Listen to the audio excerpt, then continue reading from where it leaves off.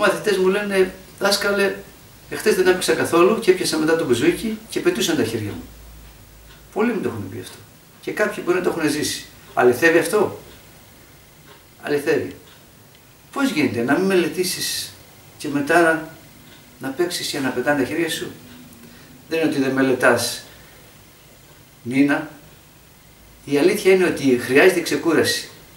Η ολική, να μην, κάνει, να μην παίξεις τίποτα και υπάρχει και η ξεκούραση της συντήρησης. Ποια είναι η διαφορά της από τις άλλες;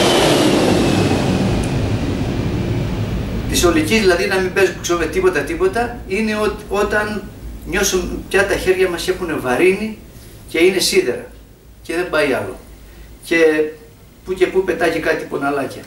Ή μπορεί να, να έχουμε μόνο τον πόνο. Καθώς μελετάμε μας έχει πιάσει ένας πόνος στο χέρι Τίποτα, τα αφήνουμε.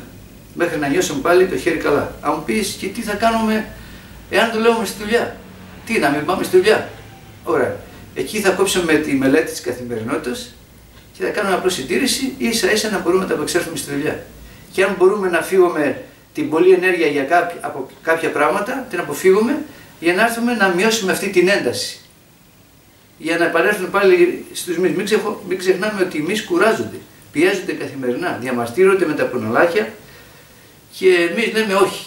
Γιατί έχουμε στόχο να πάμε μπροστά, αλλά θέλουν και αυτή την ξεκούραση. Οπότε σε αυτή την περίπτωση σταματάμε καλά-καλά, εφόσον μπορούμε να το κάνουμε. Διαφορετικά, αν δεν μπορούμε να το κάνουμε, κάνουμε ψηλοσυντήρηση για να επανέλθουμε πάλι. Και η αλήθεια είναι ότι ο άνθρωπος είναι φτιαγμένος, γι' αυτό και ο Θεός είπε ότι έξι μέρες θα εργάζεσαι, την έβδομη δεν θα δουλεύεις.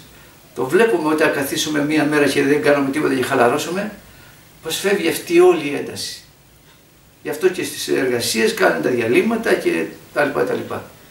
Οπότε να θυμόμαστε, όταν δούμε πόνο, τα βαραίνουν τα χέρια, σταματάμε. Αν δεν μπορούμε να σταματήσουμε καλά καλά, κάνουμε μια μικρή συντήρηση και η αλήθεια είναι ότι θα δούμε καλύτερες.